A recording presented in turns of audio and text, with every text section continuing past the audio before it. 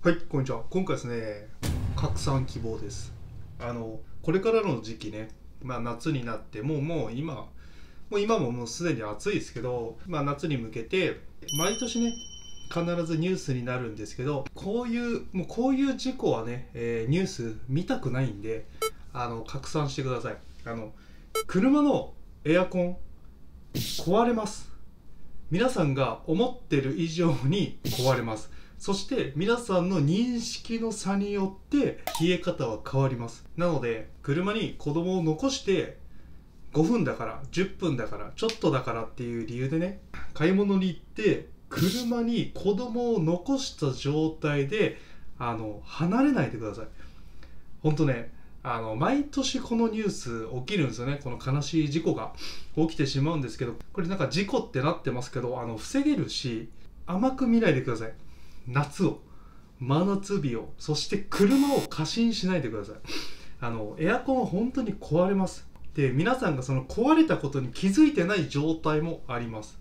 そう。一定の条件でエアコンが効かなくなる場合もありますし。そうなんですよ。なんでねもう毎年毎年嫌なんですよこのニュースを見るのが。本当にね子供は何も悪くないし。親の立場としてね、まあ、大事な命ですからね。ねその命のためにみんな頑張ってるし。だからあのもうやめましょう。そのちょっと買い物に行くだけ。スーパーに着いたらね子供が後ろ寝てるとかね。ああ寝てるからまあちょっとぐらい。でね最初はね5分ぐらいで帰ってくるつもりだったのがまあ入ったら、まあ、レジが混んでたりとか。あこのしゅあこれも買わないといけないとか。まあ知り合いに会ったりとか。その5分だったのが10分。15分。えー真夏日に10分。もしもエアコンが効かない状態で10分、えー全然熱中症になります。命を落とします。それぐらい危ないです車は。あのさっきまで聞いてたから。うんそれは理由にならないですよあの壊れるんですよエアコン。皆さんだってよく考えてください。車のことを全然知らないよっていう人でもエアコンガス注入って聞いたらなんとなくイメージ湧くでしょ。ああエアコンが冷えないからガスを入れるんだ。ここ多分紐づくと思うんですよ。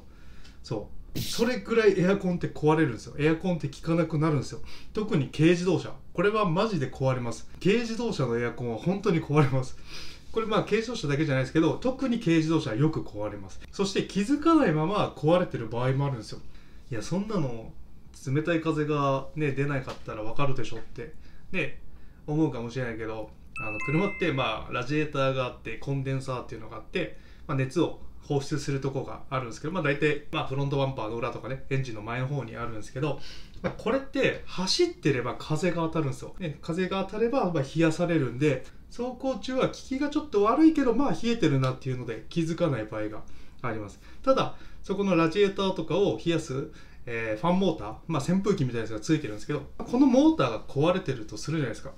このもちろんこのモーターも壊れますよ。壊れる時は壊れます。すると走ってれば冷えるのが止まったらエアコンの風が冷たくなる熱くなるっていうのはあります、まあ、なので、まあ、5分だけとかね、まあ、10分ぐらいだからっていう感覚で行くとあの一瞬で灼熱になります。車の中は。本当にね一瞬なんですよ、まあ、子供をね残して、まあ、エンジンかけてるから大丈夫。エアコンつけてきたから大丈夫。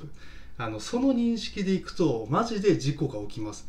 でおそらく事故のほとんどはそれです。いやエアコンはつけてましたとかね。でさらに運転席と助手席と後部座席では全然体感温度違います。ちょっとエアコンの効きが悪いなってなってても運転席助手席は耐えれる場合があります。直で当たってるから。でも後ろの席ってまあ、もちろん風が出るタイプの車もあれば、まあ、ないタイプもありますよね。ってなると後ろの体感温度っていうのはすごく熱くなります。前と後ろで全然体感温度違うんです。で子供って後ろに乗せるじゃないですかほとんど。ってなるとあの本当に一瞬で熱中症になります。それで命を落とすっていうのはあのよく見るニュースですよね。このニュースはね本当に見たくないですよ。あの防げるんで車に残さないでください。子供を残さないでください。赤ちゃんを残さないでください。でまあ4歳5歳。でそれでまあ小学生ぐらいになったとしてあのもしボタンを押したらエアコン効かなくなるじゃないですか。スイッチをねもし子供が触って。まそういうリスクも考えてほしいし。であとは設定温度例えば23度とかにするとするじゃないですか。に普通に走ってて。まあこれぐらいちょうどいいみたいな。でも止めた状態で23度っていうのは冷えない場合があります。23度っていうのは快適かっていうと快適じゃない可能性が高いです。走ってるから、え熱の放出ができてる。風が当たってるから熱熱の放出ができてるから、まあ、23度って設定してるけど確実にここから23度出てるわけじゃないですよ。ちゃんと測れば違うし。なのでそこの状態によってエアコンの冷えって変わってくるし。でもちろんその温度を切り替えるモーターこれも壊れる可能性ありますしこれがいつ壊れるかなんて分かんないですよ。その5分10分の時に壊れるかもしれないです。本当にね危ないんですよエアコンって。だから本当車を過信しすぎないでください。新車だろうが一緒です。新車でも壊れます。モーターを変えたことなんていっぱいあります。温度の切り替えのモーターを変えたこともいっぱいあります。外気温センサーセンサー類が異常を起こしてねエアコンの設定温度例えば20度ってねオートで設定します。じゃあオートで20度保ってくれるかっていうと、まあ、外気温センサーとかね。そこのセンサーが壊れてたらそのオートも効かないしその温度っていうのはもう全然当てにならないし。マジでやめよう。マジでやめよう本当に。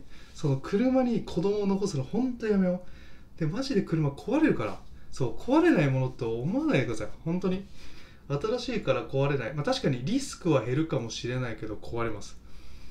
壊れるものだと思ってください。まあ日本の車なんか壊れないっていうのが当たり前みたいになってますけどいや壊れるんですよ。人間が作ったものだし壊れます。もうね毎年ねこのニュースが絶対ねあるからもう嫌なんですよ。であと安全面から言っても車に子供を乗せた状態エンジンかけっぱなしもちろん鍵は閉めてませんよね。危ないです。熱中症もそうだけどそのまま誰かが車乗っていかれたらどうするんですか？そう。なんでマジでねやめよう。そういうの。あのリスク管理っていうかねその大丈夫だろうじゃないですよ。本当に。これはね防げるんですよ。でまあ気持ちもねわからないでもないです。よちょっとの買い物のためにね寝てる子供ね起こしてねぐずってとかね。そう。その連れていくってなったら、まあ、店内走るしもうちょっとちょっとだけの買い物だからもうそこにいてとかね。そうそういうのをやっぱやめてほしい。でまだ会話ができる子供だったらね例えばスマホをねやって、まあね、子供の携帯とかね与えてて常に通話状態でつながってる。熱くないとかね大丈夫とか。そういう意思疎通が取れるやけど、まあ、例えば本当赤ちゃんとか置いてるもうこ、まあ、まあ考えられないですけど赤ちゃんを置いていったり喋らない子意思疎通が取れない子をそう言葉を発することができない子をそのまま置く。何も分かんないですか？ら熱くても泣き叫ぶしかできないですよ。でねそれで本当に命を落とすっていうのが毎年ニュースで見てると本当悲しくなるんで 何回も言うけど車を過信しないでください。あの壊れるものだと思ってください。信じすぎないでください。そしてエアコンは壊れます。